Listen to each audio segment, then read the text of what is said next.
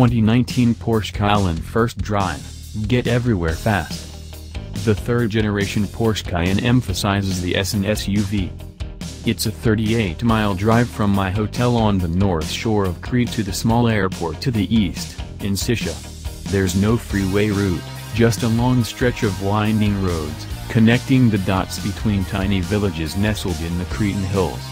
The 2019 Cayenne's navigation system says it'll take an hour and 15 minutes to complete the journey, but the reality is, I don't have that kind of time. I've got to get there in 55 minutes, or I'll miss the charter flight off the island. And while another night basking in the stunning scenery of this idyllic Greek island sounds blissful, the Porsche folks are all looking at me with a stern sincerity, their eyes silently telling me, you absolutely must make this flight. The 4.0-liter biturbo V8 offers up 550 horsepower and 568 pound-feet of torque and I'm feeling every bit of that oomph as I fly past slow-moving work trucks and microcars on my race to beat the clock. Porsche reps are calling out upcoming turns like I'm on a rally stage, 90 degree right-hander, sharp left up the hill, the Cayenne's sophisticated new rear axle steering helping me dig into tight corners with incredible agility and stability. The throaty V8 engine note is accompanied by a hearty exhaust roar every time I bury the throttle. The fat, staggered tires on 21-inch wheels claw into the haggard mountain roads, the redesigned air suspension filtering out minor imperfections before my hands can feel them through the steering.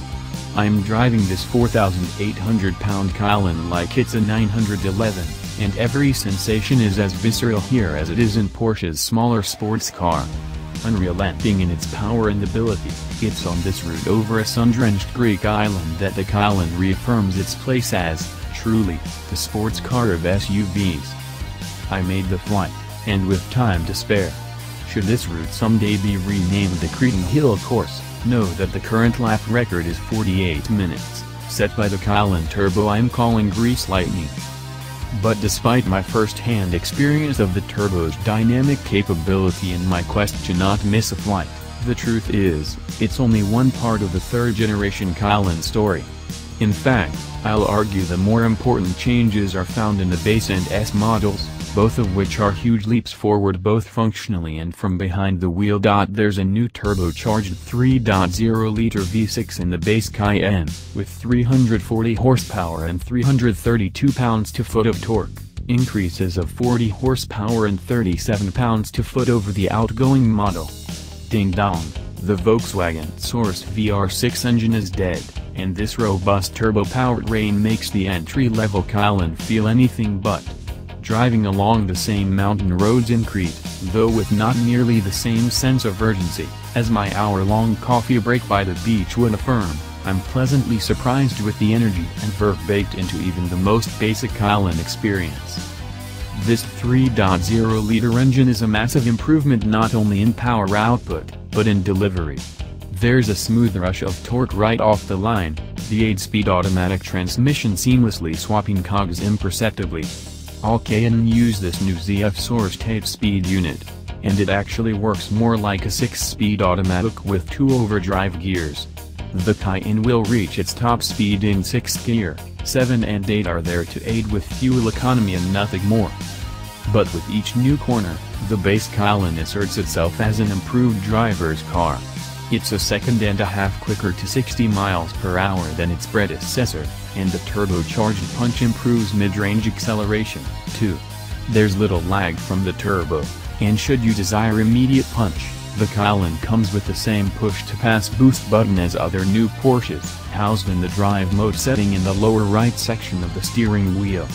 The steering is high on feedback and progressive in action, allowing for accurate precision with minimal effort. With 20-inch wheels, 19s are standard, and the optional air suspension, the base Cayenne is sure-footed over rough roads and equally supple and stable on pristine patches of pavement. There's a much higher level of driver-to-road connection than in any previous Cayenne. If you put me in the standard Cayenne first and told me it was the S, I'd probably believe you. Dot The Cayenne S, then, is both a step up from the base model, as well as a similarly huge dynamic improvement over its forebear. The S gets Porsche's new 2.9-liter turbo V6 from the Panamera, good for 440 horsepower and 406 pounds-to-foot, allowing it to sprint from 0-60 in 4.9 seconds, a full second quicker than the base Cayenne. Larger brakes and Porsche's active suspension management, PASM, are standard on the S, with the air suspension again offered here as an option. What I like most about the S is how it appears to have the broadest dynamic spectrum of the three Cayenne models. That is to say, it feels like it embodies the best attributes of the base car and the turbo, rather than trying to just nuzzle in between the two. The majority of Cayenne buyers in the US will likely opt for the standard car, and good for them, it's better than ever before, but from a driver's perspective, for my money, I'd have the S. As good as the turbo is here in Crete, the S feels just as lovely, with oodles of power and great feedback through the chassis and steering. Hustling in Sport and Sport Plus modes, the S is a total champ, hunkered down and carving through corners with a precision unmatched in the performance SUV space. Even as I traverse a long series of gravel roads in the high hills, the Cayenne is stable and confident. Select the normal drive setting, raise the suspension to high, and dirt roads are dispatched with aplomb. And being an SUV, the Cayenne comes with an off-road mode that lifts the suspension even higher and changes the engine and transmission mapping. Of course, here in the States, almost no one will actually take their Porsche into rough terrain. But all models will tow 7,700 pounds if campers or boats are part of your Cayenne-oriented active lifestyle. All Cayenne models have a redesigned interior, and one that'll be familiar to Porschephiles. Look inside a new Panamera and then glance inside the Cayenne, the same sort of layout is utilized here, and it's fantastic. A 12.3-inch touchscreen houses the Porsche Communication Management System, with Wi-Fi on board and improved voice command functionality. Fun fact, tell your Cayenne it's too cold. And it'll raise the climate control by 2 degrees. The crisp, colorful display comes through with super high resolution, even better than the already good Panamera, and while there's a bit of a learning curve to totally master this system, I prefer it to what's available in the competitive set. Rather than clutter up the smooth center console with buttons and knobs to control the infotainment, Porsche just lets you touch the huge screen. I'll happily overlook a few fingerprint smudges for that increased ease of use. In front of the driver, Porsche houses its analog tachometer in the center of the instrument panel, flanked on either side by digital displays. The left side shows traditional gauges, and the right side offers myriad information, including a G-force meter, it's a Porsche, vital car data, or a map. Redundant steering controls for audio and infotainment functionality don't clutter up the small diameter wheel, and nestled in the driver's seat, there's great visibility ahead. You sink into the cockpit of the Cayenne, despite its high ride height. Every seat in the house is comfortable and spacious, even the back row, which can easily accommodate three adults. There's as much as 60.4 cubic feet of space with the rear seats folded, and no third row of chairs on offer. Porsche says no one is really asking for a three-row Cayenne, by the way. The Cayenne is as comfortable and as beautifully finished as ever. Porsche is as much a luxury carmaker as a performance brand. After all. If you like the size of the current Cayenne, you won't waive your complaint with the new one.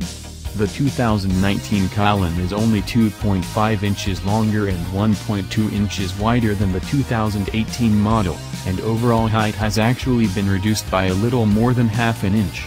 And in fact, if you like the design of the current Cayenne, you should have no trouble warming to the new model.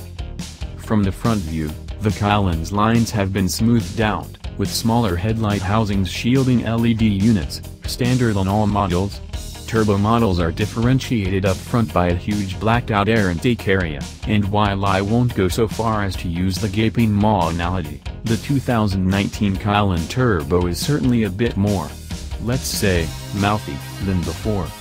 From the side profile, the old and new Cayenne are virtually identical. It's around back where you'll find the most obvious updates, with slim taillights that span the width of the rear hatch, the Porsche text actually housed behind the lens glass. This visual updo better aligns the Cayenne with its 911 and Panamera siblings, and the full-width LED rear running lamps look very modern and very cool. Turbo models also get a neat little active aero flap integrated into the roof spoiler, it can be raised or lowered manually, and works as an air brake at high speeds. It's the same as the one on the new Panamera Sport Turismo, and it's mostly discreet, thank goodness. Tech improvements and new design aside, it's the improved dynamic ability that totally sells me on the 2019 Cayenne. The base model is a huge step forward, a proper Porsche, through and through. The S has enough vigor to satisfy even the most discerning enthusiasts. And the turbo, well, rest assured you'll never be late for anything ever again.